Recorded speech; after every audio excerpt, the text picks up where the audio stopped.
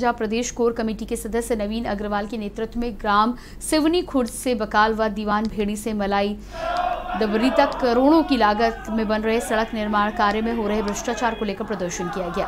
पहले भी कलेक्टर को ज्ञापन सौंपकर संबंधित ठेकेदार के खिलाफ कार्रवाई की मांग की गई थी, लेकिन कार्रवाई न होने पर जनता कांग्रेस, छत्तीसगढ़ के प्रदेश कोर कमेटी के सदस्य ने कार्यकर्ताओं के साथ कलेक्ट्रेट पहुंचकर बेशरम के फूलों का गुलदस्ता देकर विरोध प्रदर्शन किया।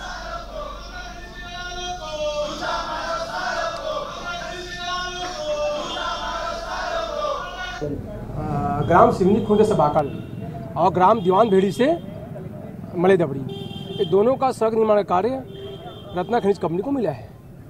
और रत्ना खनिज कंपनी एक वर्ष से वहाँ पे काम कर रही है, उसका संपूर्ण उनको भी प्रमाण पत्र भी नहीं मिला है। लेकिन अभी से वहाँ की सड़क जर्जर हो गई है, कई जगह से धस गई है, जिसको हम लोग लेके पूर्व भी शिकायत किया है। ग्रामीणों ने भी किया है और हमने भी किया है।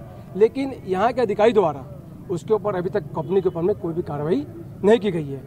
मानो ऐसा लगता है कि अधिकारी और कंपनी के ठेकेदार दोनों की मिली भगत से भ्रष्टाचार को अंजाम दिया गया अधिकारी को आपने बता चुके हैं इस मामले की जानकारी? हाँ अधिकारी को जानकारी पूरी है और दोनों की मिली भगत है और सबसे आश्चर्य की बात तो यह है कि ज़िले के समीप राज्य मंत्री दर्जा प्राप्त विधायक दलेश्वर साहू जी के गाँव का गृह ग्राम के सामने का मामला है।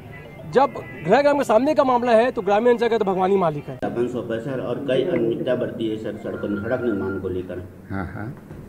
ये जो जोगी कांग्रेस वालों ने जो आज घिराव करने की जो बात की थी उसमें डोंगर गाँव विकास खंड की दो सड़कों की बात की थी सिवनी खुर्द से भाकल और दीवान भेड़ी से N H four N H six मलई डबरी वाली। ये क्या है 19-20 की सड़कें हैं और अभी वर्तमान में ये निर्माण कार्य इसका चल रहा है। कंप्लीशन इसका हुआ नहीं है।